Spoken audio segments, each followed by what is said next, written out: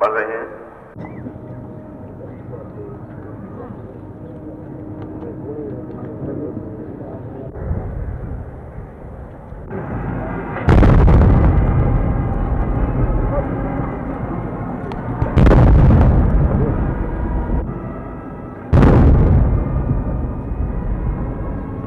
ऐसी भावना बनी रहे ऐसा ख्याल होता रहे अपने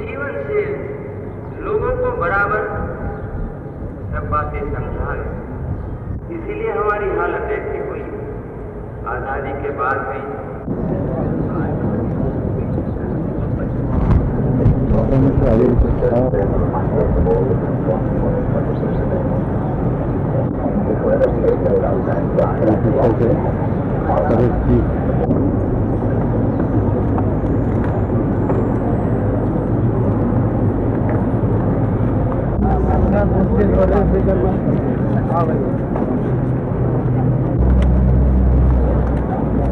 राजा क्यों